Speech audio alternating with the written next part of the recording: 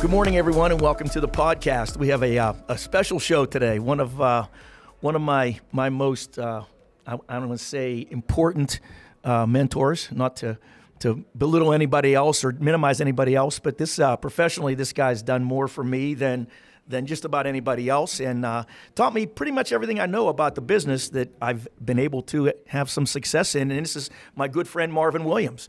Uh, welcome, my friend. Welcome. Good morning. Good morning. It's nice to get you here. You know, um, it- it's it's a little bit chillier here, I'm sure, than in Texas, and uh, I know you're looking forward to getting back. You've been on the road for a while, but Yeah. um, Nick and I, we've been. Nick, Nick's probably asked me at least a dozen times, "When are we going to get Marvin? When are we going to get Marvin?" So we had you in town. We wanted to take advantage of that for for a few minutes to have a conversation. So, Marv, tell tell you know everybody's that, that watches the show that follows us and has has heard your name mentioned many times, and I'm sure they're curious because you know not only myself but uh, most of the GPI folks that have been on, you your name's been dropped a few times. So, just give us a little bit of.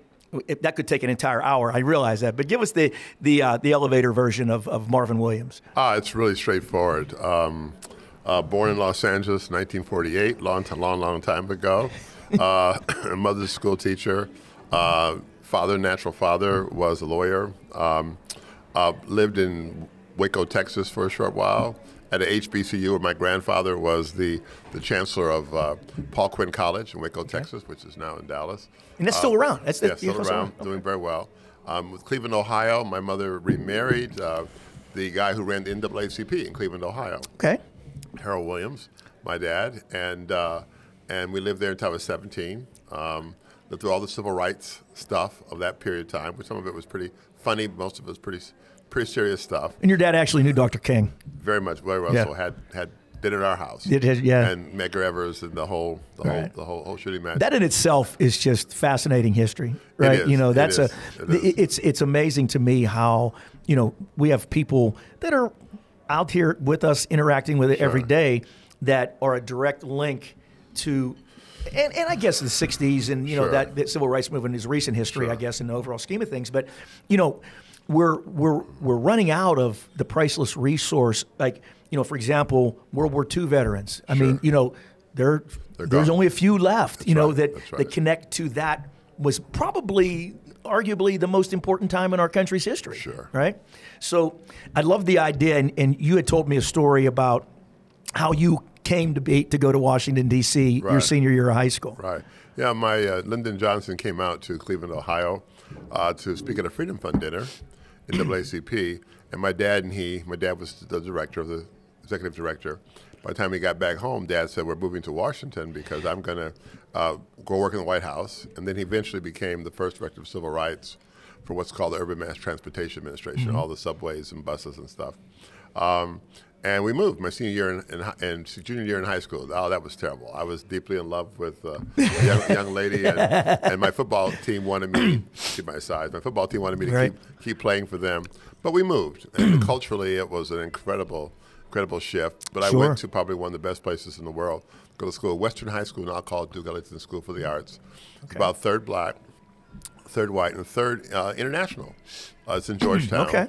And the kids were rich, poor, all, all over the city. We we talk about it now in our reunions.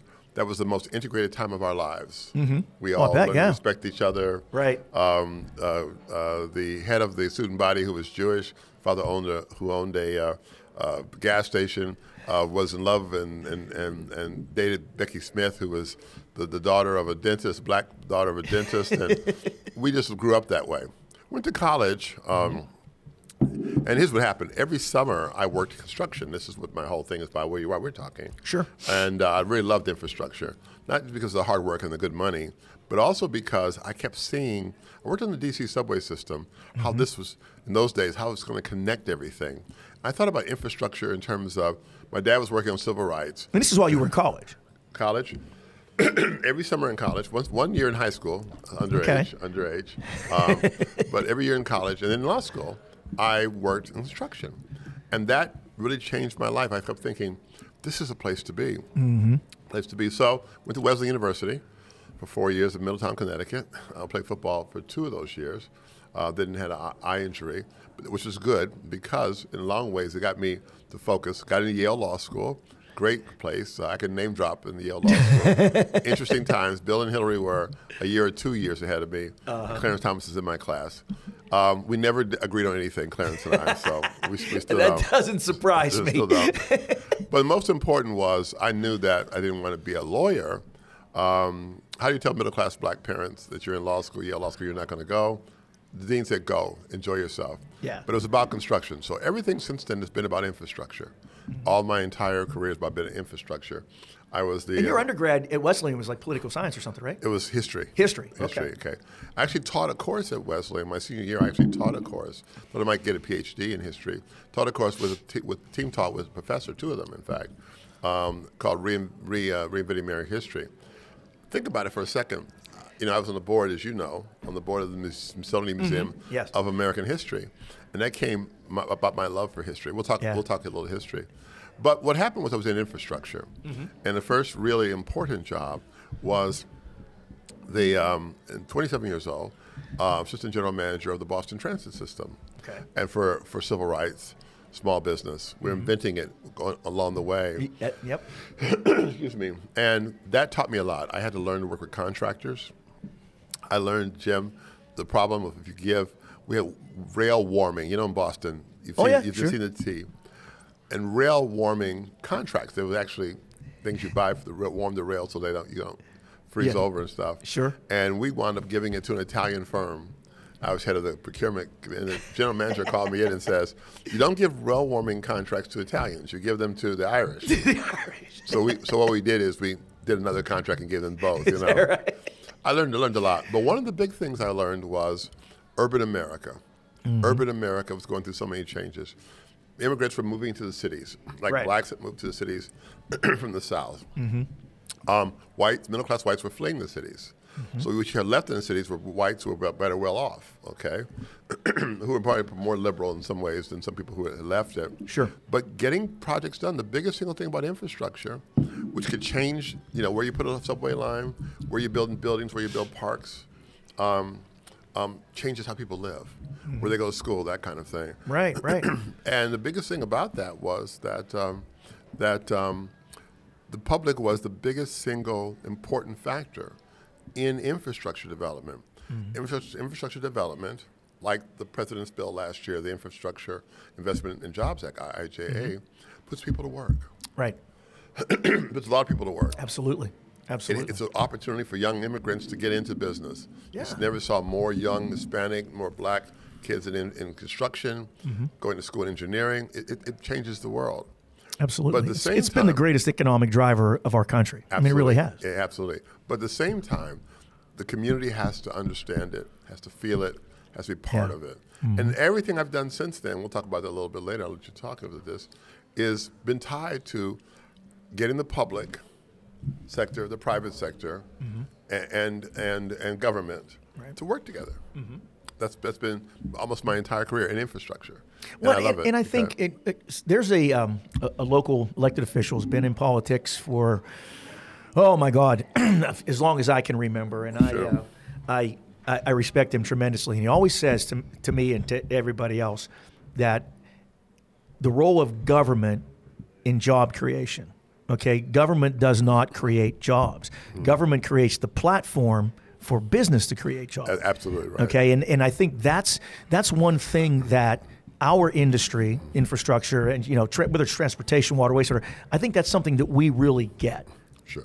You know, that's because that's you know one of the things that when you think about what we have going on here, I mean, you look at the the economic drivers in in, in our southwestern Pennsylvania region right now.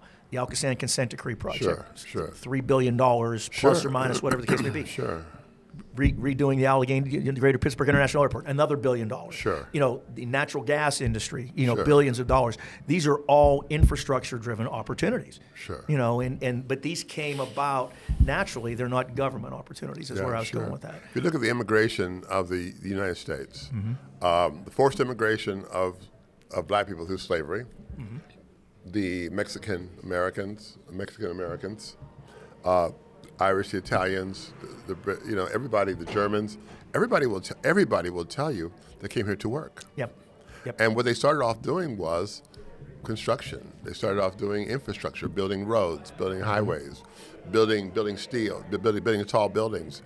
It's the it's the world, and the world's needs in infrastructure. You and I are aware of this. Sure. is incredible. We need to build more infrastructure in the next 20 years that's been built since the beginning of time. Mm-hmm. People need clean water. They need highways. Africa needs highways. Oh, yeah, the absolutely. U.S. needs railroads. Absolutely. We've changed airports a hundred times. And everybody needs water. Everybody needs housing. Mm-hmm. Okay. right. And so infrastructure is the base next next to health and fe- health, health healthy and feeding people. Mm-hmm. Agriculture, which is another whole story. Infrastructure. It's an important story here where we're sitting. Yeah, yeah, yeah. You know, that's still the number one industry in PA I is got you. ag, I right? you, I. And in Texas too. Yeah, know. absolutely. and and it is it is it's incredible. But I'm very optimistic because that is opportunity for people to break in, Sure. to start uh, anew. And what you and I have been doing uh, in working in engineering and construction Mm-hmm. uh, area is helping our firms that we work with Right. get the work, the right kind of work, but also partner with the communities Yes. that they're doing it. So it's Yep. a win-win for everybody. you know? Absolutely, absolutely, and, and and that's one thing I picked up from you early on is the you know one of the one of the most important tools that we have in our particular toolbox when we go into a city to develop business for our for our Sure, firm sure. is the community piece. Yeah. Okay, everybody, when you, especially children, Mm-hmm. students, school age kids, if you go in and you, you always said this, go in and take care of people's kids. You take care of their kids, they'll love you. And they'll, right. they'll welcome you with open arms. Sure. And that has been the situation in every place I've gone since. Yeah. You know, when you go in and talk about their kids, their ears perk up. Yeah. It's like we, we had that yesterday.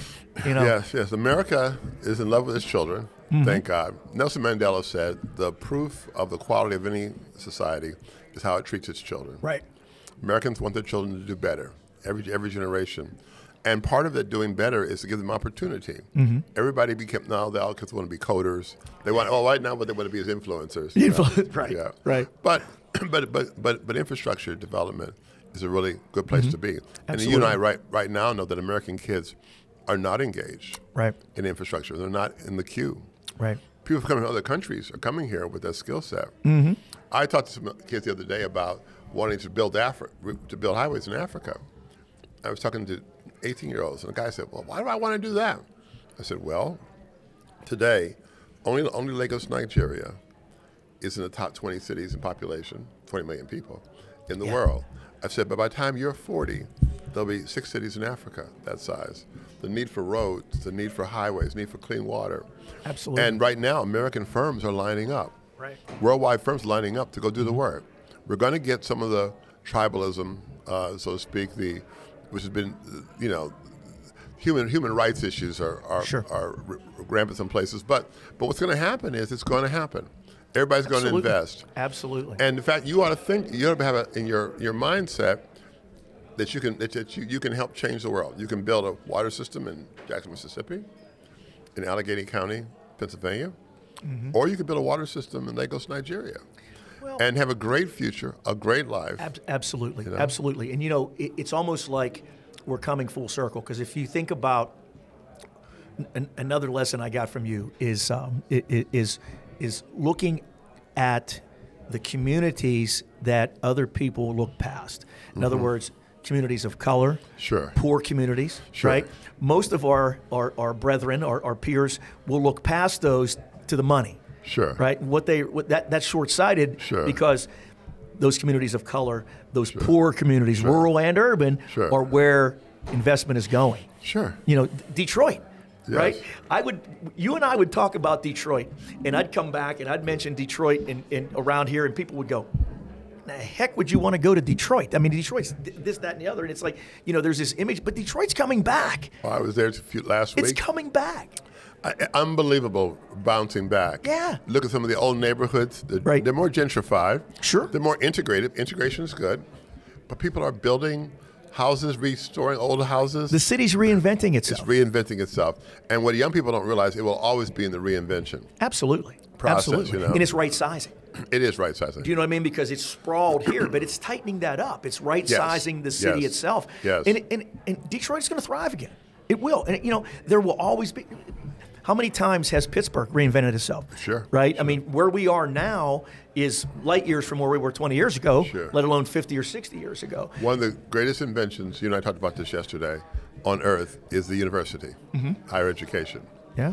Um, for a long time, the Catholic Church, through its, through, you know, through the university. Well, look, look, I'm thinking about all the the uh, Catholic colleges in this country. Yeah. What they've done for the education Mm-hmm. of, and I'm not Catholic, but think about how great the Jesuits have been. Oh my God. Yeah. You know, in building building these colleges, universities. Yeah. Notre Dame. Okay, you can go on and on and on. Uh, Georgetown. uh, Absolutely. You know, Right here. You know, Duquesne. Duquesne. You know, I mean, it's- you it's amazing. You're absolutely right. And the thing about it is that what happens is that Pittsburgh, Cleveland Mm-hmm. with Case Western, Cleveland State, Detroit, Wayne State. Okay, Yep.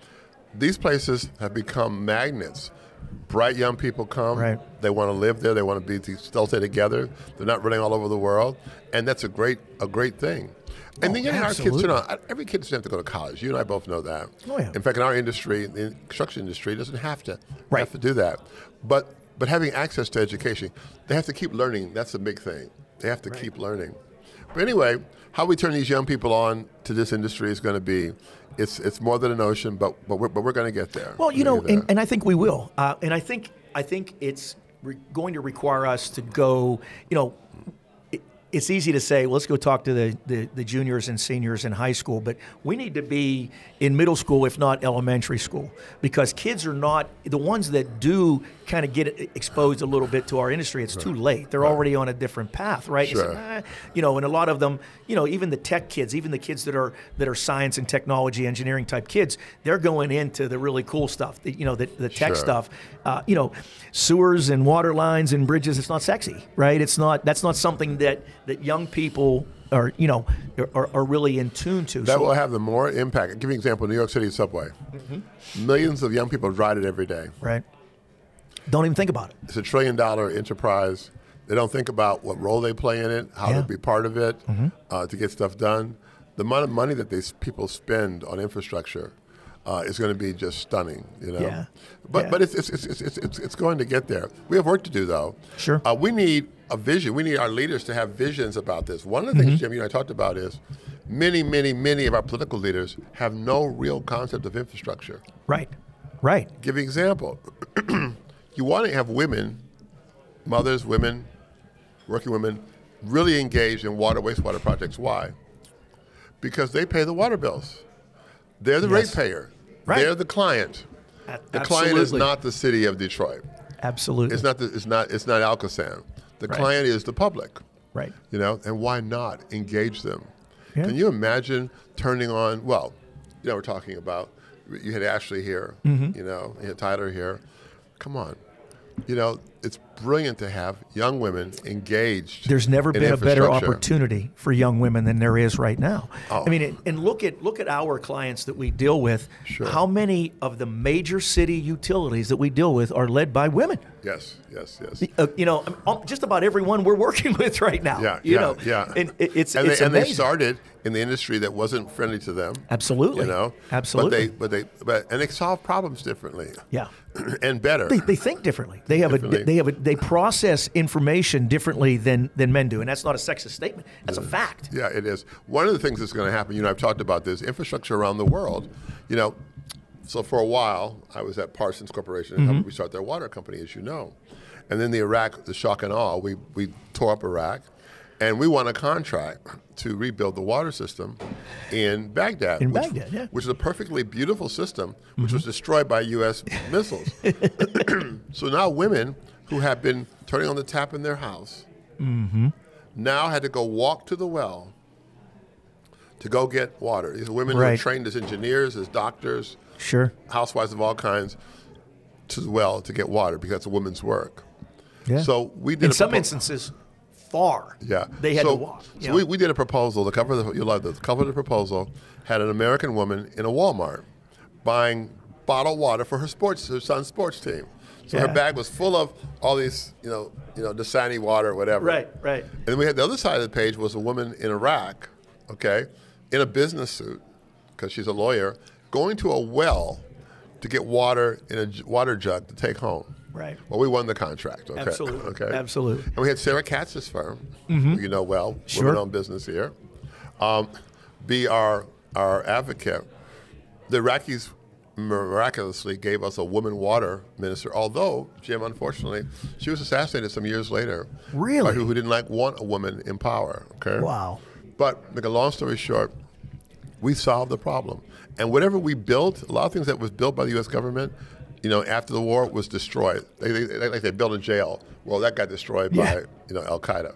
Um, but the water system wasn't touched. Right. And I keep thinking we need more women to make more decisions in, that, Mm-hmm. In that- agree. in that regard. I agree. Um, um, it's as important as having minorities in, in, engaged in it.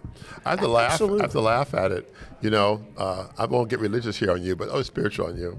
So people all right. always want to bring We the, do that. the Christian relationship to me. I said, well, why do you think Jesus talked to the woman at the well? And people would say, well, he was letting women. I said, no, no, no, no, no. He was at the well because women were at the well Right. getting the water. Right. Infrastructure is very important to people, Mm-hmm. um, to families, and and and families need the support.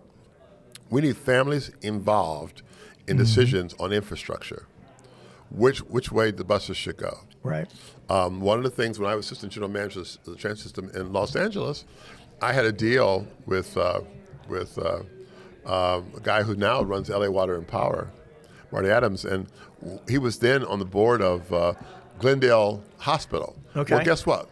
Our bus system wasn't getting his Hispanic workers who were cleaning the hospital there in time. Okay. So what we did is we made it. We made a difference. Tom Bradley was the mayor then. He said, "Help him out." We changed the routes, and people were getting there on time, Getting to work on time. and getting Right. home. Right. The buses didn't just end at a certain time. Right, right. Get- We had that one bus that would come through and wait for everybody. You know. Yeah, What's yeah. wrong with that? That's human. That's, That's, that's that's what should be done. That's that's the way it should be done. Right? It's true. It's true. It should know? be done. It's fun stuff. Yeah, I mean that's that's just that's just common human decency to, to look out for one another, and I, and I think you know I think we're all here to look out for each other. I think none of us is put here to take a solitary journey. No, no, no, no. Right? Not we're all, all. here to look out for the person next to us. No, it's true. You know, It's and, true. and it's in and out. You know, there will pe- people will come in and out of your life, Sure. and you know have a some people much like yourself with me. You know, you you and I have been good friends for a long time, but I don't know that you really understand the depth of the impact you had on my life, right? I was actually surprised. because and, and, and listen, there was because you know I paid attention, Right. right, and so I, I was at that time I was going through a divorce. There was a lot of stuff happening in my life, a lot of moving parts, and. So Bruce calls me in the office one day and says, "This is Marvin Williams. This, this is your guy. Go with him. Do what he says. Listen to everything he says." So I did that, right? And uh, and I paid attention, you know. Yeah. And it really, I mean, that, that was a difficult time for all of us to a certain extent. Sure. But at the end of the day, taking those, you know, th- th- those lessons with me, and even though we would go a year without talking to each other, but whenever, you know, at- the end of that year, I picked the phone up and you, you answered the phone, Sure. and I'd ask maybe it's just a question, and you know, and uh, but I I'll never forget that. I'm like, and then you know. You're a good sized fella. You were even bigger then. Right, Absolutely. So I. I come in and there's this. You're like this this this mountain uh, of a man, sure. very soft spoken, and I'm like thinking, Bruce, what the hell are you getting me into? You know, but that was probably the, and, and I'll tell you a quick story. What you taught me, the fundamentals of business development marketing in this industry. Sure. Okay, so I left that firm and went to another one, bigger firm, the the, the biggest firm at, at, at that time in, in the, in the world. Sure. So they decided they were going to implement a new business development strategy across the firm. And they Sure. had, I think, 60,000 employees at that particular Sure. time. So they invited their senior leadership, including myself, to Washington, D.C. for three days of intensive training. Sure. Okay. And I'll see if you remember this. So they had this three ring binder, it was at least four inches thick. Uh-huh. And so we went down and we, we, we met, and then we went back to the hotel, and it was going to start the next morning. So I'm sitting in the hotel and I'm going through this, and I'm going, what is happening here? And I picked the phone up and called you Right. because it was exactly what you had taught me like five years before that. And I said, I don't, you know, what do I do? And you said, just go with it. Just Yeah. go with it. So we go through the two day thing, and they think I'm like the greatest thing since sliced bread because I'm answering all the questions because I had been doing it from you know what you taught me, Yeah. and it was funny as heck. And then so they had a $500 gift certificate for the person that they would pick the guy it, and and, and I won it, Right. and I'm like. I can't take this. I can't accept it. So I donated it to the, the part of the local team in that Sure, office there. But sure. but it was really funny, you know. And again, it's uh, how things just stick when you don't even realize that they are. You know, One of the advantages of being African American in the times I've been alive has been that you have to survive. right? I remember going to college. You think about talk about what I've learned. Well, here's how you learn it. You learn it because you're always thrown into a situation Sure. where nobody expects you to do really well, except play football. Okay. Yeah, that's- well, that's true, yeah. Um, nobody expects you, and so people don't know what you're doing. I was telling the other day, I was at a meeting in Washington D.C. for AMWA, American, Yeah, sure. the, the American water agencies, all the water types, at a hotel where I used to be a doorman when I was in uh, when I was in uh, high school. I was a doorman because it was four blocks from my house in Yeah. Southwest D- Southwest DC, and so I told you it was like I was listening to people talk about about the future, and I kept thinking back. This is the same lessons we learned when I was a doorman. Nobody ever knew how smart I was, or that I was getting ready to go to college, or whatever. Right, Okay. right. They would say things in front of me that eh, they thought I had no awareness. How many times are we in the presence of a waitress, of a of you know guy doing the shoe shine, the shoe shines anymore, Absolutely, barber, absolutely. who's got a tremendous amount of education, a tremendous amount of knowledge. And they would say things in front of me, and I would use that, you know, steal from it. Um, I still steal things from my from my minister every Sunday. I always he, he gives he does a sermon, then I'll use it in the week. I use parts of it in the week, but part of it is we're all here. We're really Absolutely. here. We're really here. Absolutely. And, and the thing about it is, we have value. One thing I'd like to see happen, you and I talked about this. You got to have a plan for the future. You can't plan for obsolescence. One of the things about the local politics right now, about the politics right now of this nation, which people say is so divided, it isn't divided. It's divided by somebody's trying to do this to us. Here's the thing you have to say, my children, you know, I talked about this, mm-hmm. and sure. your children, grandchildren, great grandchildren, mm-hmm. we want a world for them, Absolutely. all of them. That's what we're working To for. go backward in history, those who want to go the good old days, means that you don't want a future for them. Yeah. You want them to not be judged by the content of their character. Right. You know, That's exactly You want right. them to be judged by they're Italian and they moved to the wrong Mm-hmm. city. You want them to be judged by college versus no college.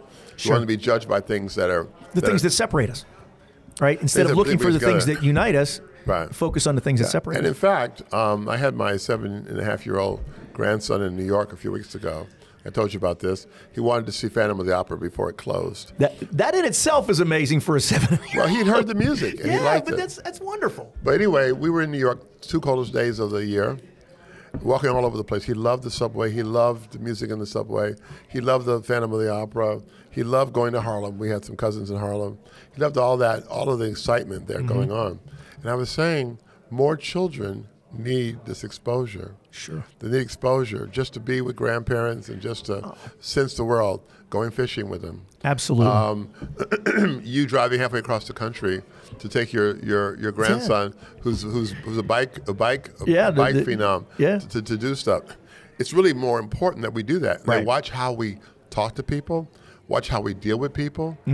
They, they they have to learn from that. Mm-hmm. Well, that's know, what's missing. You're Okay. right because education, and you know I was raised by teachers, so you know it's it's a very important thing to me. But education does not directly equal knowledge.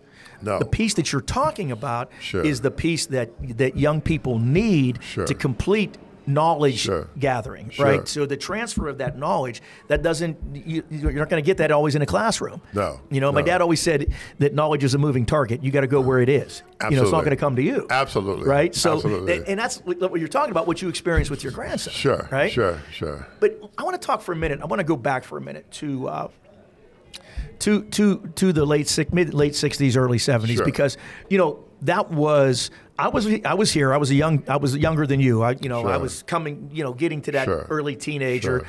And um, but I, I remember it, and I was, I was very aware of it because my parents were very aware of it, and my parents Sure. were very engaged. Right? They were they were liberal people, and Sure. you know my mom was young then. My mom was in her twenties, right? So sure. the thing of it is, it, it, it's it was such a divisive time uh, in our country, racially, not just racially, but Sure. but class wise, income, and all these things. Do you see? Because I hear this a lot, and, and I'm very interested in your perspective. Do you see parallels to what we're going through today to that late '60s, early '70s? Sure. period? And what is called is disruption. Okay. Okay, we had the Vietnam. We had this this period of the fifties. Things were pretty cool, Mm-hmm. but things were boiling. Remember in 1957, Eisenhower sent troops to Little Rock, Arkansas. Right. What was happening was the American dream was about equality, Mm-hmm. and people were not being treated equally. Right. and so it was boiling up.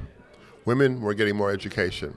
Black people were getting incredible education, but couldn't. I remember a time in a period in Waco, Texas, when we couldn't try on clothes in, in you know in, in the stores. Yeah. People wanted what, what was theirs. They were exposed to the world. You know, there was an old song called "How are you going to keep them after World War One? How are you going to keep them down on the farm after they've seen Paris?" Right. Right. a lot of soldiers that didn't come back. One of the things that Absolutely. was happening was disruption was happening mm-hmm. In the world. We were chasing the, the, the Soviets, Sputnik. So that's why we chose Kennedy over, over Nixon um, by a slim majority. The world was being disrupted, okay? The, the, the communists were thinking they could go and grow and whatever. A lot of fears. So you take that fear and you, then you put it into the cities. And the cities were, were melting pots. People of color lived. I, most of those places are gone now. Where they lived was terrible. Um, people move out in middle class neighborhoods, but still most of the black people were locked in. Um, Hispanic migration was just starting in great numbers to this country. And people wanted a, cho- a shot. They wanted jobs. Remember, there was no equal opportunity in those days. Um, you could fire people at will. Um, you know, Yeah. um, in northern cities where unions had, had, had integrated, people were working side by side.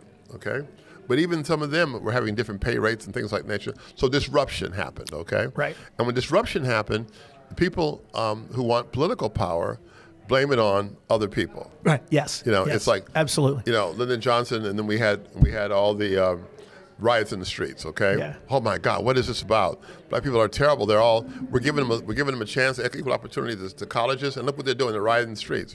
Well, we have disruption now. Mm-hmm. One, the internet, the the the technical disruption, That's which allows right. people sitting in a farmhouse, you the know, great equalizer. in Stowe, Vermont, Mm-hmm. to to con- to connect and talk to people in Beijing, okay, to sell products across lines, okay. Yep. People got empowered by the use of, of technology, okay. Number one, and in some cases, the anonymity of it. and and anonymity of it. Yes, women, okay, are now not just additional income; they are the critical income in many many households. Yep. And white males, um, uh, who were had the upper class in terms of economic class, found themselves um, no longer in total in total command. Right. Okay. There had to be partnerships. Okay. Yeah, yeah. Um, um, people were not going to put up with abuse. People were not going to put up with that. Some people, some people, some people got it and, and moved yeah. with and moved with it. Oh, yeah. You look at how we sell things on television. Okay. Mm-hmm. Disruption occurred. Okay. The gay and lesbian community got a chance to be to live their lives. Right. Okay. Without Right. fear. All right. All this is disruption. The number of people who are going to churches, uh, certified churches, began to decline. But people are spiritual. Absolutely. They're still very spiritual. Absolutely. You know, they just don't ascribe to going to a. So disruption has happened. So what happens with disruption is people have to blame blame somebody for Right. it. Right. And so unfortunately, we got with the the uh, after Obama. Well, Obama was disruption. Oh, absolutely. The night that he got elected, first of all, black people are 13% of the population. We only partially elected him. Most Yeah. white people elected him. okay? Absolutely. So what happens is the night he gets elected, there are people who are saying, they asked uh, Mitch, McCon- Mitch McConnell, you know, what's what is it? He said, Our job is to make sure he's a one-term president, not to find a way to work with him. That's that statement right. became a reality, and so what happened was you made it divisive. Yes. Everything he did That was bad. created the division. Yeah, everything That he did was bad. it. Although we had eight years without any scandals, any scandals in the White That's House. exactly right. Um, you know, the the Obama family, and it, you, we, I remember we, remember we were in Chicago a couple Sure, years ago. We went to we went sure, to the house, sure. and uh, you wouldn't let me go up and knock on the door, but that's that's okay. Sure. But but you know, I heard the debate here on the ground, you know, well, he's as he's just as much white as he is black. Yes. He's not the first black president. Sure, he's the first sure. biracial president. Sure. Not, you know, so you heard all of those things, right? Sure. And it was like the people were looking, and not just the, not just the white community, right? I mean, Right. the the, the It took black community community a long time to come on board with them. Yes, yes. They were, was- they were scared of it. you Somebody know? actually, a mutual friend of ours actually said, he's not black, he's Hawaiian. Right, right, you know, so it was like all these things are flying around. Sure. But you know, the thing of it was, he never went down there. No, he never did. He played high, high ball. Absolutely. And, and, and you know, and he, he had every reason to. He would have been justified to He's do still it. he's still playing ab- above the fray. He- he realized absolutely is. Being the angry Negro wasn't going to get him anywhere. that's exactly he right. He was president of all the people. Yeah. Think about Obamacare. I have two cousins who are alive today. They got cancer treatment because of Obamacare. Right.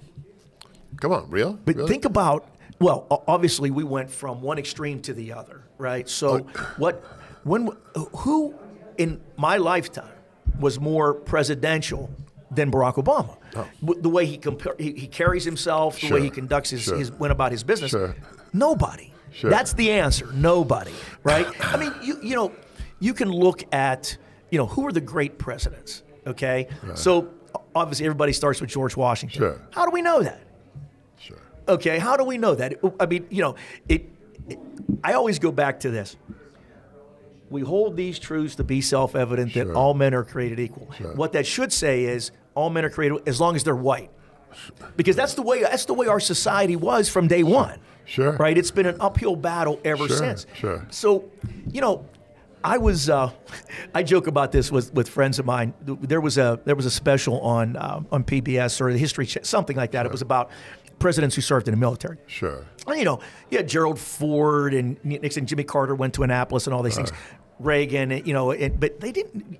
Uh, Bush one, you know, was a pilot. Sure. I get that. So they're going through all these things, and Ulysses S. Grant. Okay, yeah, yeah, he was. You know, it was. Sure. A, but when you that conversation begins and ends with Dwight Eisenhower, Right. right? The supreme Allied commander who Sure. literally saved the free world, Sure, right? sure. So, but then, but that's how they get into these comparisons where it's Doesn't make any sense. yeah, you know, like who, you know, it's it's who was who's the, who's the better hitter, Henry Aaron or Barry Bonds? You know, who was the, So, you so you, can, you can look back in history and say, who was the better choice?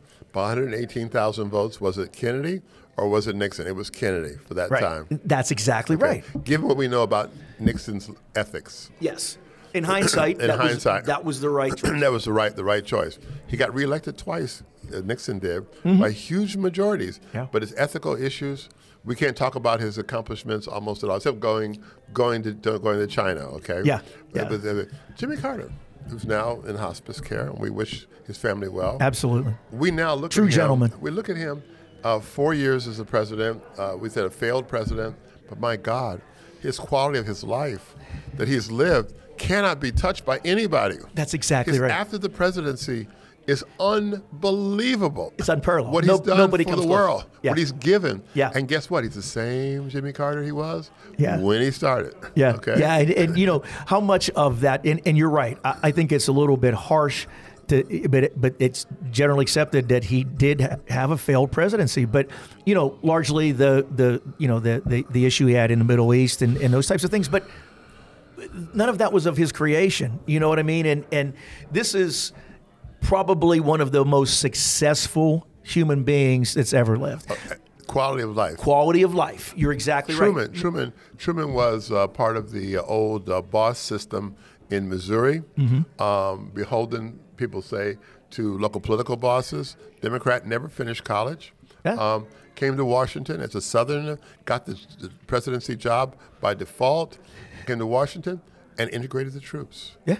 Okay, integrated schools. You know, you know, did more good for. It. Go to the Truman Library sometimes, Independence, Oh, Missouri. it's amazing, yeah. it's, a, it's it's hard. It's rendering. He had made decisions about the atom, drop the atom bomb. He had to make Right. decisions about bringing people to life. One of the things we've Just got an to- average guy. One thing we've got to do, and we talk about this. We talk about women in this piece. Look, um, we missed an opportunity with Hillary, Mm-hmm. and, and and I know her personally. So here's the deal: she would have been an excellent president. I listened to people's reasons about why they didn't vote for her, and she just lost by a few. She had more votes than than than, than Trump, but in the wrong places. Yeah. okay, Right. Right. Right. But why? Well, I don't like her. I don't want. No, it's a basic discrimination against women. It is. It is. I know black males, I know white males, barbershop, who I'm not going to vote for her. I don't want women. Come on, really? And and you're right because what was what has been highlighted as her flaws, as the things that people didn't like about her, Sure, sure. would be expected accepted in a man. Mm-hmm. Right, so if you had a man of equal experience, equal education, all Sure. things equal across the board, those those blemishes, warts, shortcomings, whatever they were, would have been accepted. Here's a woman that had to face the world with the public humiliation Oh my God! of her husband having sex in the Oval Office. right? Kept her family together, Yeah. which is really, you talk about spiritual life, Oh, kept them together under against all odds. yeah. Weathered all of the humiliation, was a fabulous Secretary of State. Mm-hmm. Should have been president. Sure. And I'm just sorry that we missed that opportunity. And we did. It was a missed opportunity. And my father used to echo those statements. And he voted for her. And he was he was a, a, a strongly advocated for her for, for the reasons that you said. Yeah. You know, I mean, it, is, it was unfortunate. And maybe you know, maybe we're getting there. Maybe we're getting closer now. Um, you know, Vice President Harris is, has that was a that's a big deal. You know, But- to have. but But, but maybe we're getting closer. Well, we're getting closer. We have, And, and I'm not saying she's the person, but Sure. you know, it could be, you know, it could be somebody else. It could be uh, Nikki Haley. It could be anybody the that's governor, kicking the around. governor of Michigan. It could the governor of Michigan. I tell you, she's fab, fabulous. Yeah. you know, Yeah. But listen, one of the things I think that also is important for us now is um, yesterday, big big thing. School districts in California, several of them, are going to be suing the internet companies, some of the country, companies, Google and others, for how they, for the mental health issues mm-hmm. that they're causing for their students. I saw that. Yes. I, one of the biggest things we face right now is that young people are having mental health crises, Yeah. and we don't know how to deal with it. and we don't know how to deal with it. Right. And we don't really know where it came from, where it's mm-hmm. coming from. We kind of know. We kind of say, well, it's being on the phone all the time and whatever. Yeah. Well, but it's more than that. That's a broad brush. Part of yeah. it is that their parents are not parenting. Yeah. The parents are in disarray. Mm-hmm. Okay, are falling. The kids can't turn. They look at their parents and they and, and they can see. You know, if my mother says this is blue, but everybody else says it's red, I look at my mother and say, "Mom, it's really red." Okay. The problem is we're not giving we're not giving the kind of support that our, our kids Yeah. our kids need. Yeah. Yeah. Why not? Because we're in disarray. So we talked about starting about a few minutes ago disruption.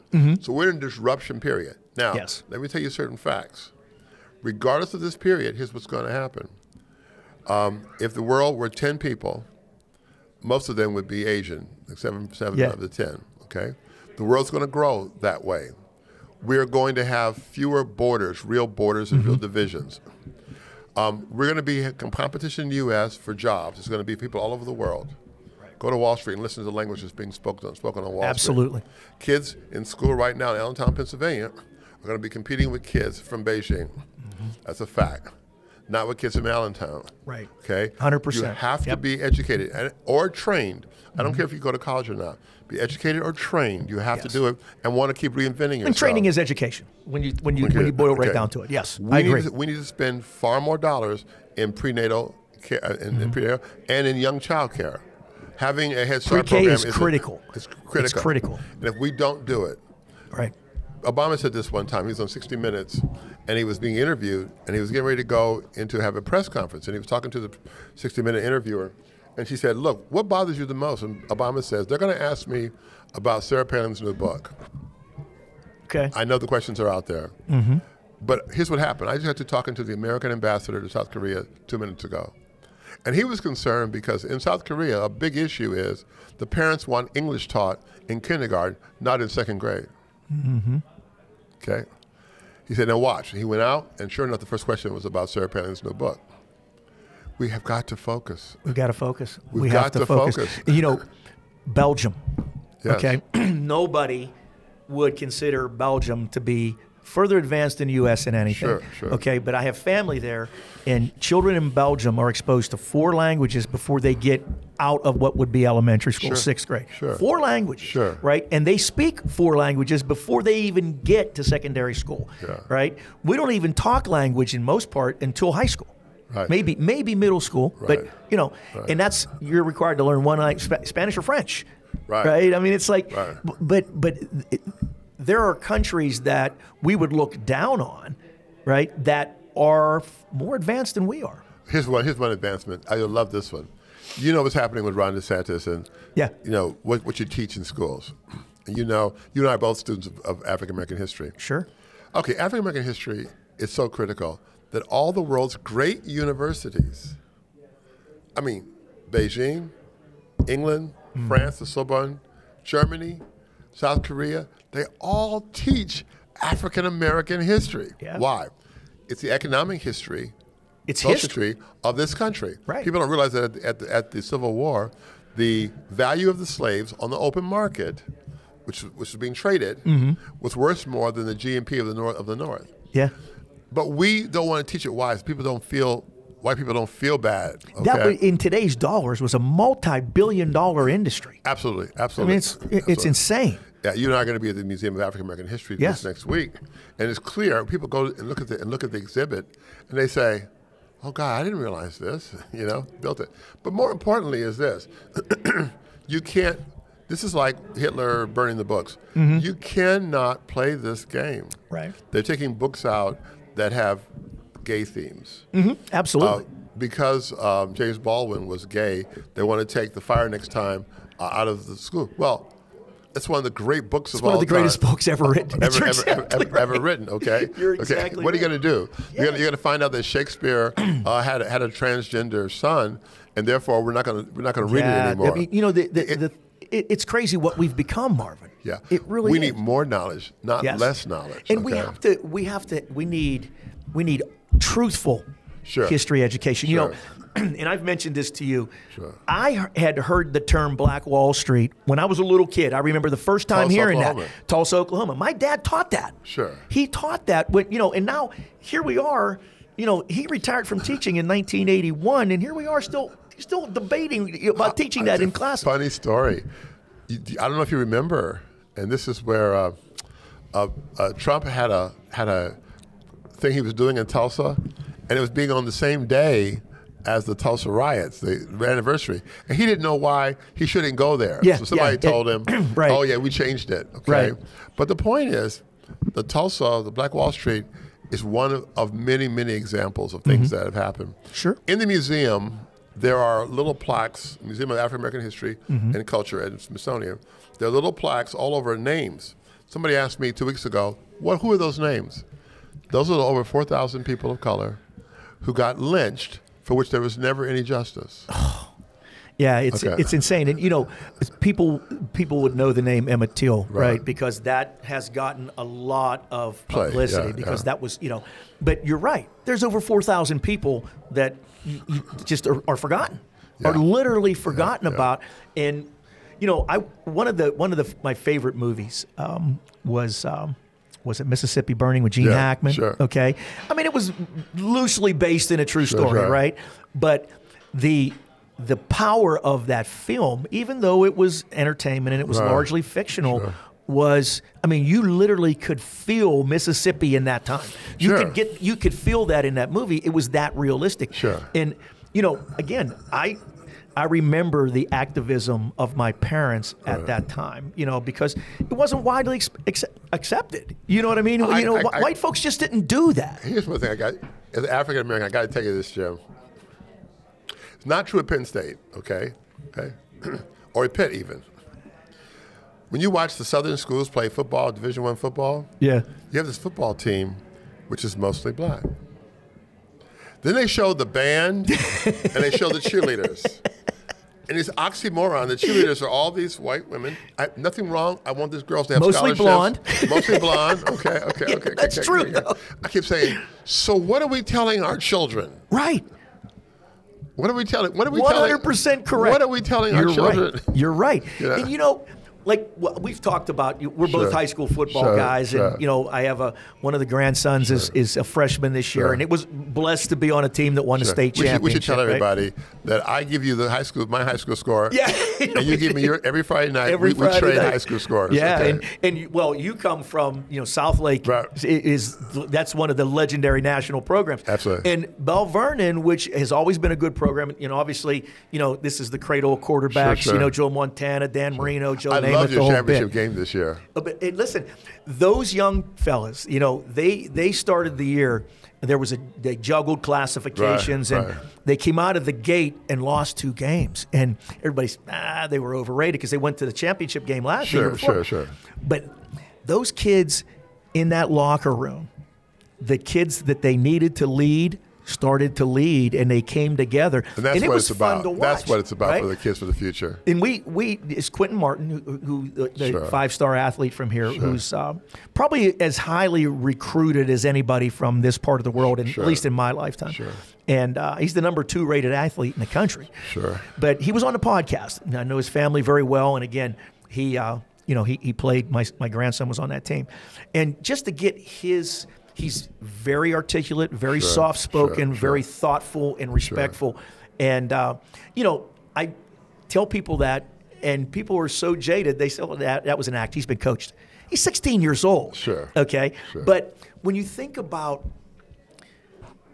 white kids from here, Uh-huh. okay, unless you're a lineman, unless you're, you know, you just don't, or, or a quarterback, Right. you just don't think that Notre Dame or Michigan or Alabama Right. are within reach. Sure. Right? You've got to be a five-star kid like Quinton Martin, Sure, okay, sure. to even have a shot there. And, and that's the, that's that's disappointing to me. Southlake, which is, as you said, was number one in the country for several years, um, has a policy that if you come out with the team, you, you, you play. I love it when we get far enough in advance that every kid plays. Yeah, right, Okay, right. okay. If you come out, you can be there four years. You can be on the team. Mm-hmm. I like the situation with inclusion. And I like I like kids to be included. Oh, absolutely. Have many opportunities to lead as possible. Right. That's part of it of what, what high school I think really really should be about. Oh, I think so. I You know, agree. Really, really about. I love it. I love it. But we talked about you know, been talking about the kids, and that is really the future of this country. Absolutely. Young people think differently than we do about it. They don't have the racial hangups that we do. No, not at Uh, all. Um, and they have to be all. taught where it is. They have to be taught that there's some kind of Mm-hmm. some some kind of issue. Um, there's a line Sidney Poitier, uh, and the guest is coming to dinner, tells his dad, "You think of yourself as a colored man. I think of myself as a man." And not Mm-hmm. until everybody in generation is gone and dead will we get off my back. Now, then he tells his father he loves him. Yeah, know. sure, sure, okay, sure. Great but- movie. But the point is, and I'm afraid we're part of that generation. I, at least I am. You know, it may have to take our generation leaving here Mm-hmm. to give these kids a chance to have the world they really live in. Uh, it's entirely possible. All of, I all of- agree. all of my grandchildren, except one, are mixed race. They they live in a real world. Okay, they actually identify most of them as black kids. sure. because that that's a that's a ev- evident in their, their lives. But more importantly, they're friends. I went to a p- grandparents' day at uh, my son West's school, grandson West's school. I couldn't tell who the, who was whose grandparents. Yeah, You know, and that yeah. was what you want. You and that's beautiful. That's a it's- it's- beautiful thing. It's a beautiful thing. There's nothing wrong with whites marrying whites, blacks marrying blacks. It's not, Not an all. issue. Not at all. But the point is, we want to have quality. You, I know what you want for your children. I want to for my children. Same I thing. want spouses that are Right. committed to growing family, to have similar kind of values. That's that- exactly that- right. That kind of thing. But Jim, as we before we wind up here, it was the bottom line for us in infrastructure. We want to give advertisement to the world. Mm-hmm. Young people, there are so many jobs, so much positive life. If, you Right. want, if you want to work outdoors all your life, if you want to work with things that, that, that move and about grow things, Yeah. come to infrastructure. It's You know, we need you in construction of all kinds. it's it's a great career. we need you in And- and supply. We need you in the trucking. We need you in engineering. We need you in architecture. There's so we many. need you in the there's so financing many of things. it. Right. There's so many things. The legal side that of touch it. it. Yeah. Absolutely. And- Absolutely. And, you can grow. You can grow communities. You know. Right. I Right. wanted. Um, um, uh, I wanted the firm that that you and I worked with for a while, a long time there, to have as their motto that we help build communities. We partner with communities, help build them Yes. one at a time. one at a time, and, and that's what it's all about. And that's how that's how I've tried to, to to move forward in my career. And and you know what I- what I would say to young people, in not just infrastructure career, but in anything, Sure. if you're willing to work, you can be anything you want to be. Sure. You know, we're sitting here now. It, take the Yale law degree out of it, right? Sure.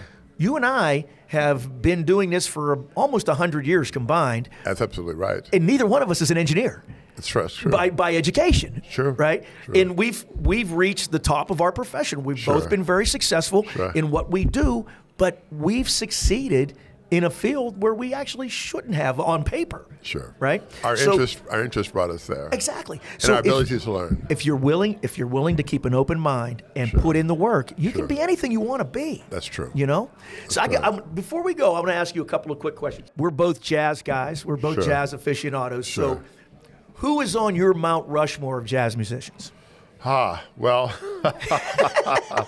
i thought about this last night because- after i well, dropped you off well, okay. Two things. One, as a composer, Quincy Jones. yes yes People have no idea, no idea how much jazz he's composed. right There's this picture of him in Duke Ellington. Uh, I mean, he's a composer, okay? Uh, Miles Davis, when I was in college, I told you the story. We were in a student group at Wesleyan, and we were the warm-up act for Miles Davis. so I can only tell you. But I got to sit behind. I got I got to sit behind the stage and watch him do it, Yeah. and I realized what a pure genius it was. oh my god yeah He wasn't high on anything. He just was playing. But then, you know, here's the thing you'll like: modern jazz quartet. Oh, cool Chicago jazz. Just Oh, yeah. you know, Yeah. Now, you're in Pittsburgh. You had so many jazz clubs in Pittsburgh. Oh my God! Yeah, my You know, dad was a regular at Walt Harper's attic. I mean, it was like it was like a done deal. Every act he would he Sure. would go there and and Sure. you know. Okay, so so there's three. Who's the fourth? And, and the fourth would be I'm just thinking of. Uh, uh, we asked about musicians. I was thinking of singing. I was thinking of. Uh, oh gosh, let me think of who I think. Well, Sarah Vaughan. Sarah Vaughan. Sarah Vaughan, I think of a lot. Yeah. Really, really. Um, and then she's not a jazz singer, but I was 21 years old. I told everybody my favorite. I was deeply, deeply committed and in love with Nancy Wilson. That was just gonna. That's where I was going. Listen, my father I was committed. loved her, and that was like the the the first jazz singer I was exposed to as a kid, right? And so mine, mine very much the same. Who, I- who, who are yours? I would say, well, well I would, I would, I would say Quincy Jones, Miles Davis, and it, it- it's it's probably, I, I really like Dave Brubeck. Oh, and the Dave Brubeck. absolutely, okay, absolutely. Um, I think Take Five is one of the great jazz songs of all time. Everybody in the right? world. Every as soon as that starts, everybody Yeah, knows yeah, what that. yeah. Even if you're not a jazz person, you know what that is. Yeah, sure. And and I listen. I would probably put Coltrane in there. Oh, absolutely. Because he's done some. I, I've really started to listen to him, and you know, when when you go most jazz, you know, stations, Right. you're gonna get you're gonna get Miles Davis, you're gonna get Coltrane, Right. you're gonna get Sonny Right. Rollins, you're gonna get you know the usual suspects. But you're the one who turned me on really to paying attention to Quincy Jones. Oh, Right, because- you got to do that Netflix one on Quincy Yeah, Jones. that's exactly right. And uh, you know, and and I, I, Nancy Wilson, that was that was yeah, that was that was the, the Yeah, the- she was the abs- ultimate. Yeah, the, the ultimate. Yeah. One thing I was thinking about as we were talking about uh, about jazz where music is gone, Mm-hmm. you know, that the musicians of, of all the periods understand each other. They Yeah. respect each other. Somebody was asking Jay Z the other day about something, and Jay Z started. A uh, brilliant kid, by the way. do- doing a rift from the ba- the backup band at Motown. Uh-huh. Those guys have a there's a PBS show on them. Yeah. They were jazz musicians of the highest Right. order, and they could play anything. Now they were re- they were they were reduced to doing you know the bebop stuff. I have a I have a grandson who's uh, how old is he now? Almost three, almost two, and I do the uh, bass tune for "I Want You Back." I go Yeah, yeah. boom, boom, ba dum, boom, boom, ba dum, boom, boom, boom, boom, boom, boom, boom. Now that's "I Want You Back" from Jackson Five. Yeah. he loves it. Oh, yeah. he's singing Yeah. to me. He'll say boom. You I've always done that with my kids and my grandkids. Is I, I used to sing Motown songs to them. But and you know what happened to me once? And this is this is. Sure, a little bit off of jazz, but. I was traveling to Missouri, right. and I was at the you know Sirius Sure. XM radio, and I, I I came on to this. It was a it was a tribute to Stevie Wonder. Sure. And you know Stevie Wonder in the '70s was was Sure. really cool songs in the key of life and all that. But I, until I spent that hour the man's a freaking genius. Yeah. I mean, there's there's so much more to Stevie Wonder than than the pop songs that the hits Sure. that he was. You know what I mean? Unbelievable. Oh my God. And, and and he wrote songs that he never recorded that other artists had hits with. Absolutely. Did not know that. And and I've always been. My parents were music people. They were. There was always music at my house. And Sure. my dad was jazz and blues. My mother was you know was the was the hippie chick in the '60s. You know. So Sure. so I grew up with that, and that's probably something that most people don't know about me is that I'm really really a music person. I'm really Oh, yeah. really into it. I feel it a lot. I know? remember telling somebody the other day, my roommate from college was talking to me, and I was talking about where I was when I first heard Elton John, Your Song. Yeah. And I remember in college, and how it just it was spring day, and it just it lightened Yeah. up, you know. Yeah. Or the Righteous Brothers singing "You Lost the Love and Feeling" when I was in when I was in high school. There's just songs. I'll never forget when the Beatles first came, um, and and I was not a huge Beatles fan in the beginning, but by the time. Yeah, and then I never really appreciated the Rolling Stones. Mick Jagger, what is he, 75, 76 He's years almost old? 80 probably. 80 yeah. years old? Well, I just saw Bruce Springsteen. He's 73. Marvin, he came out, Penn State, three 16,000 told me. people, played three solid hours without a break. At 73. I said, you're 74. I said, you know, but you know, you know what is what what what amazes me Sure. is is how you know, you'll hear a song on the radio and it'll Sure. take you back to a specific place Sure. Decades ago and you can remember exactly what you were doing. Now here's one for you.